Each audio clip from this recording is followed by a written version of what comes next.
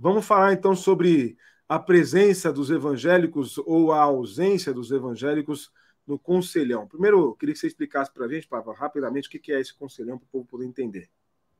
Então, olha só, Will, esse Conselhão já existe há bastante tempo e é, no passado, é, o próprio Silas Malafaia fazia parte.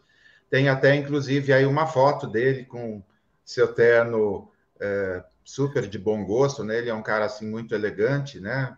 Esse bigode, enfim, é um assim é um é um lorde quase, né? Só que não, só que nunca, né? Então aí em 2000 e acho que dois, Pastor Jabes depois é, o substituiu, ou seja, de alguma forma a gente teve algum tipo de representatividade. E como naquele grupo que o Felipe Neto faz parte, Magali Cunha e uh, quem mais, hein? Eram três evangélicos. Como chamaram lá para compor aquele grupo uh, três representantes, eu falei, pô, que legal. Uh, Kleber Lucas, Leonardo Gonçalves estiveram lá na, no evento com influenciadores. Foi, uh, não sei se foi um café da manhã, um chá da tarde, alguma coisa assim que rolou. Eles estavam lá. Acho assim bastante interessante, Will, porque o critério uh, me parece não ser é, vamos ratear por religião ou por apoio alguma coisa, mas se é uh, um grupo representativo da população brasileira e não de políticos, né? Não foi.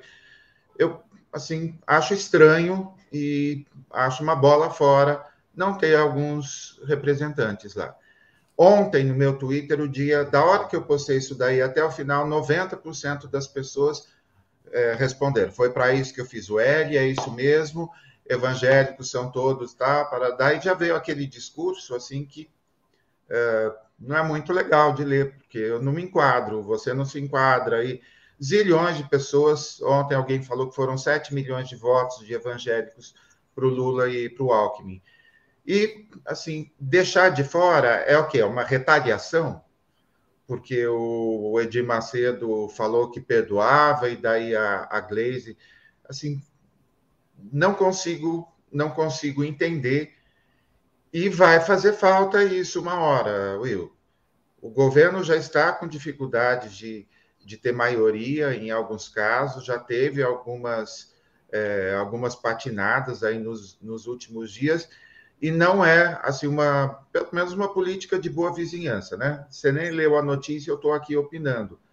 Nem, nem no Twitter eu não opinei ontem, mas eu gostaria de me ver representado. Olha só, foi tão lindo o dos Anjos falando essa semana lá, o do Zilek falando, cara, o é, é, Henrique falando, cara, assim, não se nós somos aí 30 por quase praticamente 30% da população, é, para ter uma representatividade parecida, seriam mais de 70 pessoas, Will. Pensa bem, cara. De 246 seriam aí 70 e 75 pessoas mais ou menos.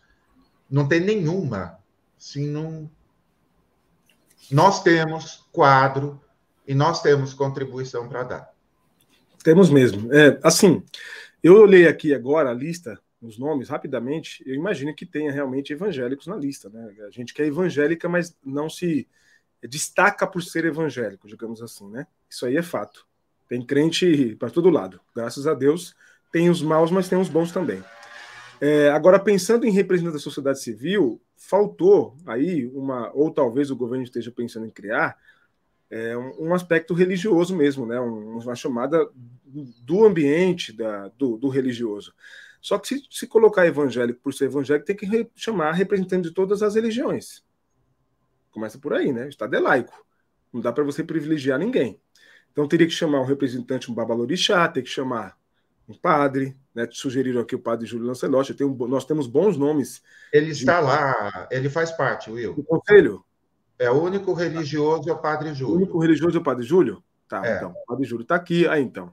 Aí é, eu entendo, porque tem um trabalho com as pessoas em situação de rua, mas tem, por exemplo, o Sheik Rodrigo, que também tem trabalho com as pessoas em situação de rua, foi entrevistado aqui por, né, com a gente.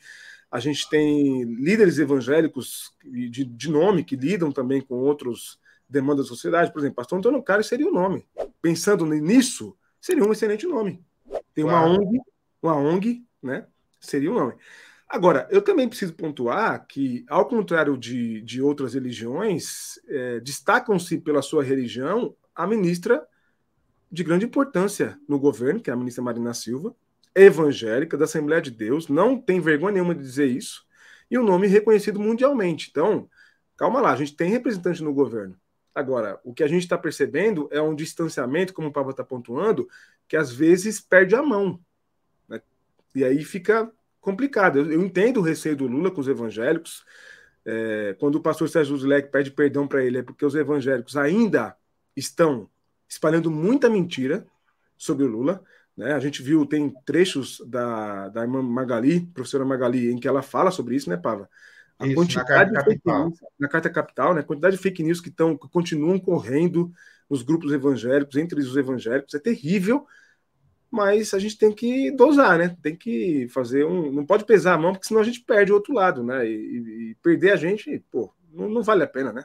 Lembrar só na, há três meses da próxima eleição, Will, não vai dar certo, viu?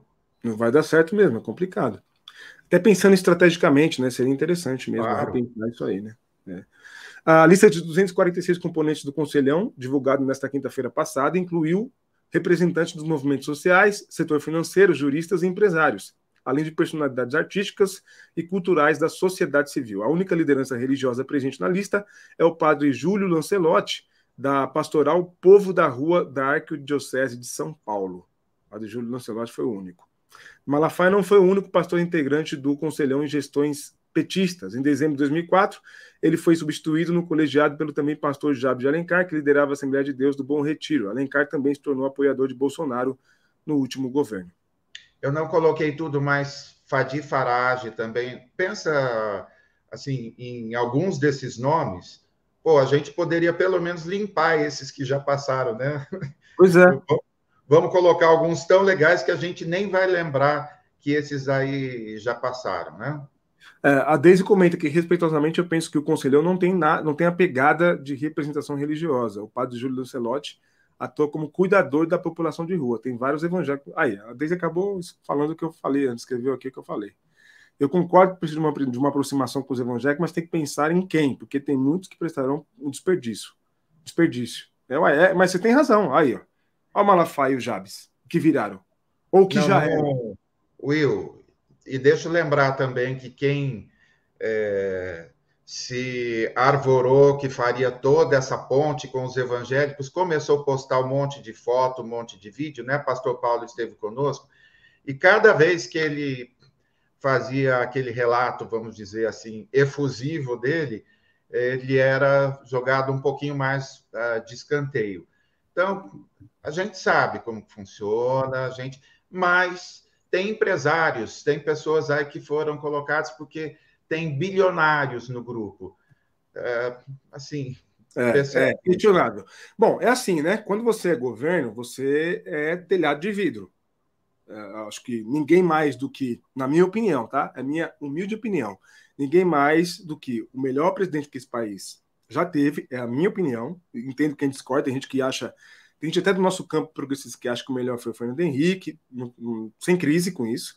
Mas ninguém melhor do que o Lula para saber que é teto de vidro, né, irmão? É por isso que ele fala: critiquem o meu governo, quero que critiquem. Por quê? Porque vai tomar mesmo bordoada quando errar. A gente está aqui para apoiar quando acerta e acerta muito. Aliás, cadê a turma dos aposentados, pensionistas que apoiaram Bolsonaro? Que, olha, foi um sacrifício para o Bolsonaro liberar a antecipação do 13 terceiro para quem é aposentado, pensionista do INSS. São 30 milhões de beneficiários. Foi um sacrifício na pandemia e liberou. Agora, a OMS, inclusive, anuncia que né, o, o, reduziu alarme, a, o alarme aí contra a Covid e o Lula vai lá e antecipa o 13 terceiro que num, num, momento, numa situação econômica do país que não necessariamente é tão urgente assim, mas antecipou. Então, né? Olha o acerto. E o Acertou. que estava, o que ocupou as manchetes? Exato. Não foi isso, né, Pá? Olha só como essa imprensa é, né? Olha como essa imprensa é. Nós vamos falar um pouquinho disso hoje ainda. Ah, sim. A Fátima disse que o Fernando Henrique foi péssimo. É que eu era novinho, né, Fátima? Então não tinha muito, não tem muito a falar sobre isso. É, o Pava devia ter aí uns 15 anos também, acho que não vai poder contribuir, né, Pava, com essa nossa. Tem um bottom autografado pelo Fernando, Fernando é mesmo? Mas não é igual o Dória, não, né? O Dória e Fernando Henrique, não, né? Não, não, é não, ah, antigão. Tá. Não, porque você lembra da Você viu a foto recente do Dória e do Fernando Henrique, né? Vi, nossa, cruel. Cruel. Que cena lamentável. Jesus Cristo. É, deixa eu ver mais algum comentário, se alguém trouxe aqui. Ó. O Ed René também seria uma boa, o Jonas Barras comenta. Eu sofri tanto esses últimos anos que acaba passando pano para o governo Lula. é, desde que ele não é, aplauda nem ignore a morte de 700 mil pessoas, né? Já começa acertando, né?